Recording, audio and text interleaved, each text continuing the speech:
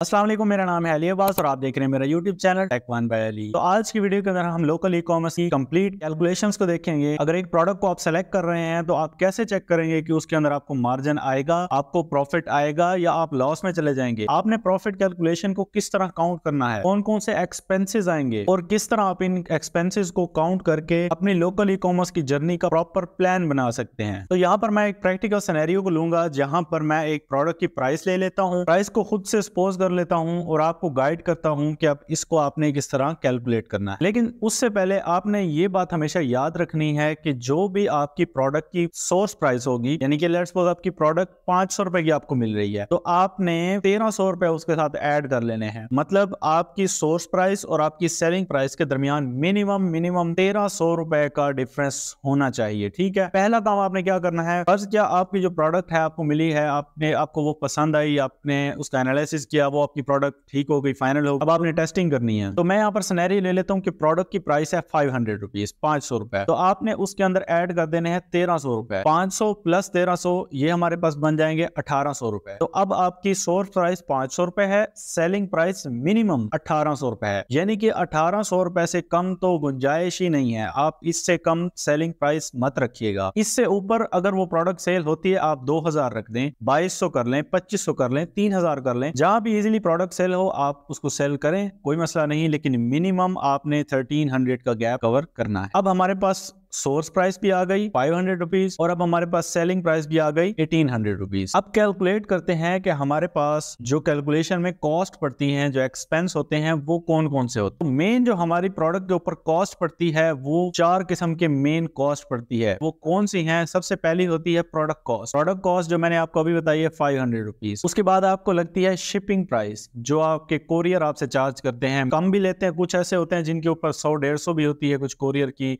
और कुछ की चार पाँच सौ तक भी चली जाती है तो मैं सेंटर में ले लेता हूँ ढाई सौ रुपए, टू फिफ्टी रुपीज़, ठीक है? तो शिपिंग प्राइस यहाँ पर हमें पड़ी टू फिफ्टी रुपीज़। उसके बाद एक और कॉस्ट पड़ती है एड कॉस्ट। अब एड कॉस्ट भी वेरी करती है, डिपेंड करती है कि आप टिकटॉक पे चला रहे हो, फेसबुक पे चला रहे हो, आप कौन सी स्ट्रेटेजी से चला रहे हो, आपको उस प्रोडक्ट के ऊपर रिस्पॉन्स क्या मिला है? आपको एक प्रोडक्ट की, एक ऑर्डर की कॉस्ट सौ रुपए पड़ी है, पाँच सौ रुपए पड़ी है, दो सौ रुपए पड़ी है या हज़ार रुपए पड़ी है ये आपकी एड स्ट्रेटजी के ऊपर डिपेंड करता है।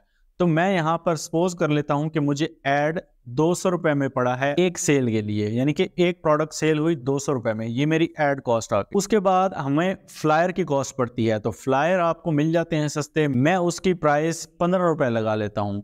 तो टोटल हमारे पास कितनी कॉस्ट हो गई? चार। Product cost shipping cost ad cost और फ्लायर कॉस्ट अब यहाँ पर एक और कॉस्ट भी आपको पड़ती है, वो है बिल्टी कॉस्ट जब आप स्टॉक मंगवाते हैं तो आपको बिल्टी पड़ती है, वो भी आपको बेयर करनी पड़ती है।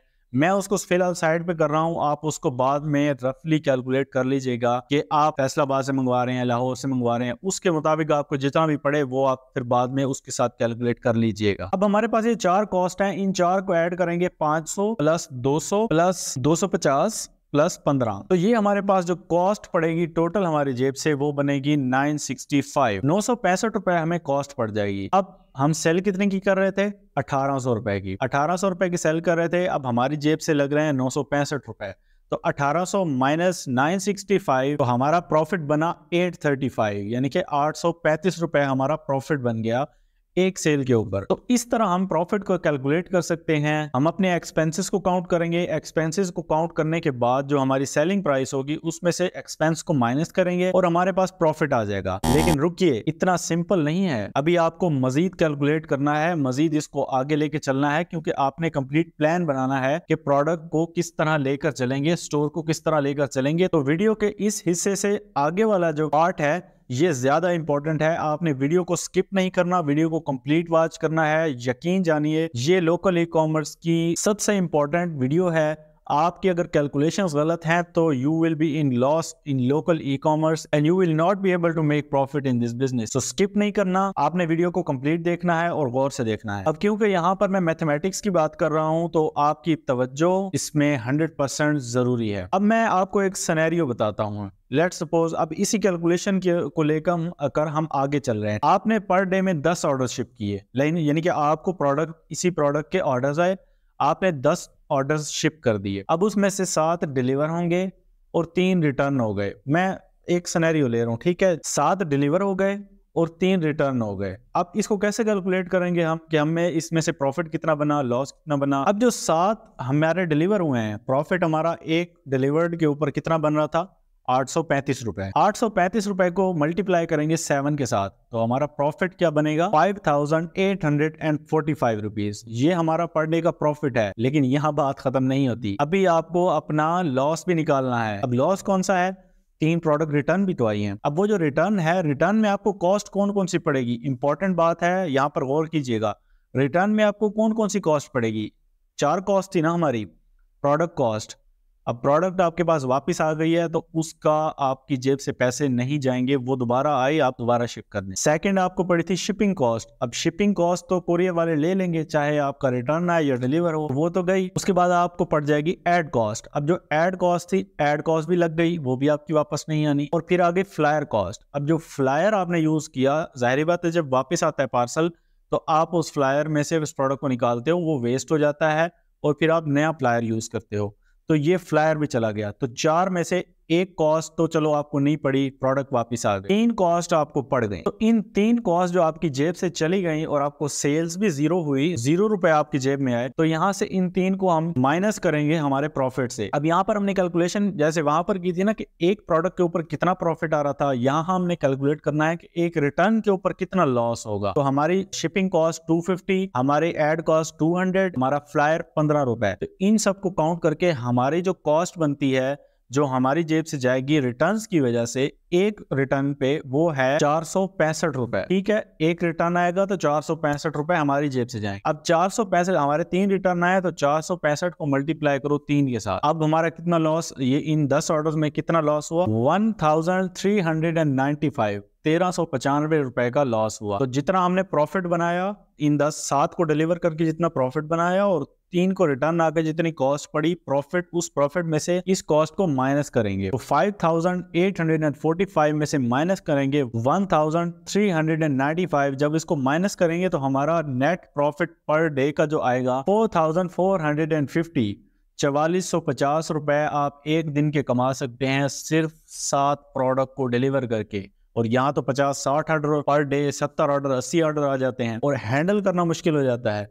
मैं लोकल ई कॉमर्स का यही जादू तो आपको दिखा रहा हूँ, यही हकीकत आपको दिखा रहा हूँ कि यार इतनी कम अमाउंट में भी अगर आप डिलीवर कर लेते हैं, अगर इतने कम भी आप शिप कर लेते हैं, उसमें से आप डिलीवरी अच्छी करवा लेते हैं तो आप अच्छे खासे प्रॉफिट में होंगे। अब चार हज़ार चार सौ पचास रुपये अगर आप पर डे कमाते हैं तो एक महीने के अंदर आप कितने कमाएँगे? एक महीने के अंदर आप एक लाख तैंतीस हज़ार पाँच सौ रुपये कमाएँगे, एक प्रोडक्ट से। तो आप खुद सोचिए कि लोकल ई कॉमर्स के अंदर कितना पोटेंशियल है, आप कितना कमा सकते तो अगर आप पर डे ये मैं आपको एस्टिमेट बता रहा हूँ, ठीक है? पर डे आपने सात प्रोडक्ट डिलीवर की, महीने में आपकी 210 प्रोडक्ट डिलीवर होंगे 210 ऑर्डर्स डिलीवर होंगे। प्रॉफिट कितना आएगा? एक लाख तैतीस हज़ार पाँच सौ यहाँ पर मेरा आपसे क्वेश्चन है यार क्या ये पैसे कम है? आज एक अच्छे लेवल पे जॉब करने वाला बंदा लाख रुपए से ज़्यादा पे लेता है और किसी से सलाम नहीं करते। लेकिन लोकल ई कॉमर्स के अंदर सिर्फ़ छह सात ऑर्डर्स डिलीवर करने पे आप लाख, डेढ़ लाख रुपया प्रॉफिट बना रहे और मैं आप पे आगे अगली वीडियो के अंदर, एक वीडियो के अंदर सनेरियो दिखाऊँगा, जिसमें मैं एक प्रोडक्ट से इक्यावन सौ रुपए प्रॉफिट बनाया मैंने और उसमें से मैंने अच्छा खासा प्रॉफिट बनाया। अब यहाँ पर हमारा प्रॉफिट कितना बन रहा है? आठ सौ पैंतीस रुपए। और हम इतने पैसे बना रहे हैं। तो अगर एक ऑर्डर से आपको इक्यावन सौ रुपए बच रहे हो तो आप कितने पैसे बना सकते हैं? जरा ये सोचिए। अब बात यहाँ पर खत्म नहीं होती। मैं जस्ट आपको मैनुअल कैलकुलेशन पे नहीं रखूँगा।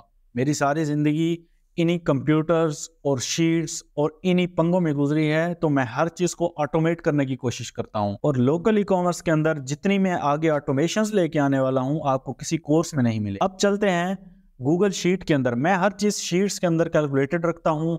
फार्मूले हर चीज़ लगी हुई होती है, मैं आपको ये शीट प्रोवाइड करूँगा जिसमें आपने जस्ट डेटा एंटर करना है और आपको सारा नज़र आ जाएगा कि इस इसके ऊपर प्रॉफिट कितना है रिटर्न ऑन इन्वेस्टमेंट कितनी है आप लॉस में हो या आप प्रॉफिट में हो। तो बिना टाइम वेस्ट किए चलते हैं लैपटॉप की स्क्रीन पे। अब यहाँ पर आप देखें स्क्रीन के ऊपर कि ये शीट मैंने बनाई हुई है अपनी प्रॉफिट एंड लॉस को कैलकुलेट करने के लिए। मैं ये डिस्क्रिप्शन में लिंक दे दूँगा, आप वहाँ से डाउनलोड कर सकते हैं, ठीक है? इसको आप एक्सेल में भी इम्पोर्ट कर सकते हैं और गूगल शीट में भी इंपोर्ट करके यूज़ कर सकते हैं। अब यहाँ पर सबसे पहले मैंने ऑर्डर आईडी लगाई हुई है। यहाँ पर जो ऑर्डर मेरे डिलीवर्ड होते हैं या रिटर्न होते हैं, मैं उनका सारा डाटा पुट करता हूँ। जिससे मुझे प्रॉफिट एंड लॉस का पता चल जाता है और यहीं पर ही एस्टिमेटेड डेटा भी लगाकर चेक कर सकता हूँ। जैसे मैंने अभी आपको एस्टिमेटेड डेटा बताया कि 500 की प्रोडक्ट लेंगे 1800 की बेचेंगे, इतने परसेंट डिलीवरी होगी, इतना प्रॉफिट है, इतना लॉस है, वो सारा यहाँ पे ऑटोमेटिकली कैलकुलेट तो आपने गौर से यहाँ पर समझना है कि ये किस तरह काम करेगा। सबसे पहले मैं ऑर्डर आईडी लगा दूँगा उस प्रोडक्ट की ट्रैकिंग आईडी लगा दूँगा। ये दोनों अगर आप लगाना चाहें तो लगा सकते हैं, ना लगाना चाहें तो कोई मसला नहीं है। उसके बाद आ जाता है डिलीवर्ड अमाउंट अब आपकी जो प्रोडक्ट डिलीवर्ड हुई, मैंने बताया था 1800 सेलिंग प्राइस रखी थी, जब आप डिलीवर्ड होगी तो आपको जो कस्टमर पे करेगा कोरियर के थ्रू कितनी होंगे? अठारह सौ रुपए। तो डिलीवर्ड अमाउंट मैंने लिखी 1800 रिटर्न अमाउंट इसलिए नहीं लिखी कि ये प्रोडक्ट मेरा डिलीवर्ड हो चुका है। रिटर्न की मेरी कोई कॉस्ट इस पे नहीं पड़ी। नेक्स्ट आ जाएगी प्रोडक्ट कॉस्ट पाँच शिपिंग कॉस्ट हमें दो पड़ी। एड कॉस्ट दो पड़ी। और फ्लायर कॉस्ट पंद्रह रुपए पड़ी, ये सेम वही सिनेरियो है। यहाँ पर इसने हमें कैलकुलेट करके दिया टोटल कॉस्ट प्रॉफिट हमारा कितना बना? आठ सौ पैंतीस रुपए। अब यहाँ पर मैंने दूसरी एंट्री जो की हुई है, ये है रिटर्न की, ठीक है? इसलिए मैंने इसको रेड भी कर दिया ताकि ये पता चले कि ये रिटर्न की एंट्री है। अब यहाँ पर प्रोडक्ट कॉस्ट हमें नहीं पड़ी प्रोडक्ट हमारे पास वापस आ जाती है। शिपिंग कॉस्ट हमें पड़ गई। जैसे मैंने आपको बताया शिपिंग कॉस्ट गई एड कॉस्ट भी लग गई और फ्लायर कॉस्ट भी लग गई। जब हमारे पास ये टोटल कॉस्ट पड़ती है तो ये हमें बता देता है कि आप माइनस में गए हो, आप लॉस में गए हो, आपको चार सौ पैंसठ रुपए कॉस्ट पड़ गई है। तो यहाँ पर आपको राइट साइड पे आप आएँगे तो आपको टोटल कैलकुलेशंस बता रहा होगा। जितने भी आप यहाँ पे एंट्री करेंगे, यहाँ पर आपको डेटा ठीक है ऑटो कैलकुलेट हो जाएगा। इसमें सबसे पहले है टोटल डिलीवर अमाउंट कि आपके जितने भी ऑर्डर डिलीवर हुए हैं, उन डिलीवर्ड में से उनकी अमाउंट कितनी है। सिर्फ़ आपको अमाउंट बताएगा। इसमें से कुछ इसने प्रॉफिट कैलकुलेट नहीं किया। जस्ट ये आपको ये बताएगा कि सेल्स डिलीवर्ड कितनी हुई है, ठीक है? उसके बाद ये आपको बताएगा कि आपका रिटर्न ऑन इन्वेस्टमेंट कितना निकला है इसके ऊपर। जो आपने सेल्स की हैं, जो डिलीवर्ड हुआ है, जो प्रॉफिट बचा है, कितनी रिटर्न ऑन इन्वेस्टमेंट है? यानी कि आपने लगाए कितने, उसमें से कितने परसेंट प्रॉफिट बनाया? नीचे आ जाएगा, ये आपको कैलकुलेट कर देगा टोटल प्रॉफिट पूरे डेटा का टोटल प्रॉफिट कैलकुलेट करके देगा। और नीचे आपको बताएगा कि अगर आप डेली इसी तरह सेल्स करें तो आपका एस्टिमेटेड मंथली रेवेन्यू कितना जनरेट होगा? एक महीने में आप कितना बना लेंगे? वो यहाँ बताएगा। अब यहाँ पर दो एंट्रियाँ हैं ठीक है? एक डिलीवर्ड है, एक रिटर्न है। अब मैं वही सैनरियो करता हूँ जो पहले किया था कि सात डिलीवर्ड तीन रिटर्न तो मैं यहाँ से क्या करूँगा? मैं कॉपी करूँगा हमारी एड कॉस्ट तक फ्लायर कॉस्ट तक, ठीक है? मैं इस कॉलम को कॉपी कर लेता हूँ। ये हमारा कौन सा है? ये है डिलीवर्ड वाला। अब ये जो येलो वाला, ये जो येलो वाले कॉलम है, आपने याद रखना है, इनको आपने छेड़ना नहीं है, यहाँ पे फार्मूले लगे हुए हैं। यहाँ पर फार्मूले डिलीट हो गए तो वो आपके लिए मसला बन जाएगा। आपने ये जो ऑरेंज वाले कॉलम है, इनमें वैल्यूज़ को डिलीट भी कर सकते हो चेंज भी कर सकते हो। मैं इनको कॉपी करके पेस्ट कर देता हूँ यहाँ पर, ठीक है? और एक, दो, तीन, चार, पाँच और ये छ और ये सात, ठीक है? सात डिलीवर्ड और फिर रिटर्न वाले को भी कर लेता हूँ। ये देखो। अब हमारे पास कितने हो गए? तीन रिटर्न है और सात डिलीवर्ड हैं। तो अब कैलकुलेशन में आए, क्या कैलकुलेशन वही है जो हमने कैलकुलेट किया है? ये लेकिन बारह हज़ार छह सौ रुपया टोटल है जो डिलीवर्ड हुई है हमारी। उसमें से हमने प्रॉफिट बनाया है पैंतीस परसेंट। अच्छा टोटल प्रॉफिट इसने कैलकुलेट कर दिया है रिटर्न और इनको मिला के चार हज़ार चार सौ पचास जो हमने कैलकुलेट अभी किया था। और एस्टिमेटेड ये बता रहा है एक लाख तैंतीस हज़ार पाँच सौ आप मंथली बनाएँगे अगर आप इसी रेशो से चलते रहें। अगर आप इसको बेहतर कर लें, दस की बजाय बीस ऑर्डर भेज दें।